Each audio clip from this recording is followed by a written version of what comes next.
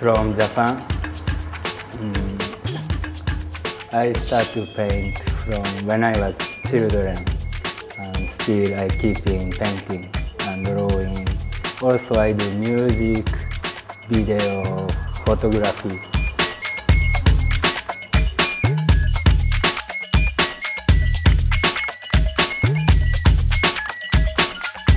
I working between Barcelona and Japan.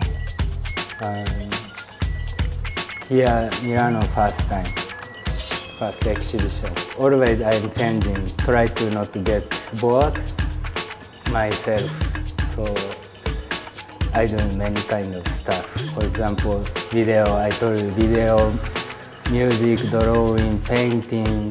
In painting also I do many techniques, collage, um, watercolor, acrylic, just drawing, something like this.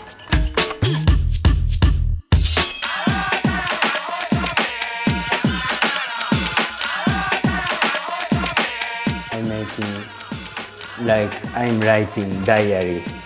So when I work, I think I don't think anything, just start to move my hand itself.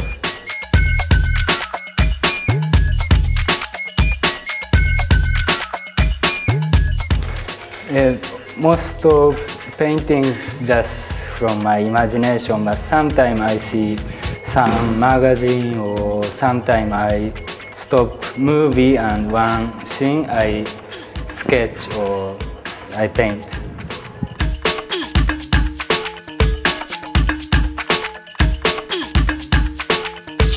Now I think Japan is very difficult to show stuff. There is no chance to show in the gallery. Really different. Here, Europe, I feel more easy to show my stuff. But Japan, there is no place to show. There is too many, a lot of gallery, but always artists have to pay to the gallery for rent the space. So first you need money to show your stuff. So I think really bad situation.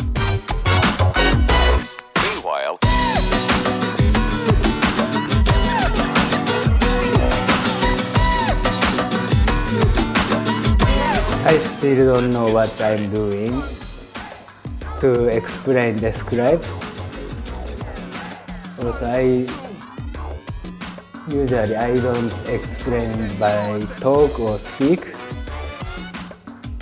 Not so much. So I think this energy export to creativity I will have one project in Sao Paulo in this summer. So I think I will go there and I will do this. This project have to make visual and sound and painting. Um, I'm very looking forward to go to there.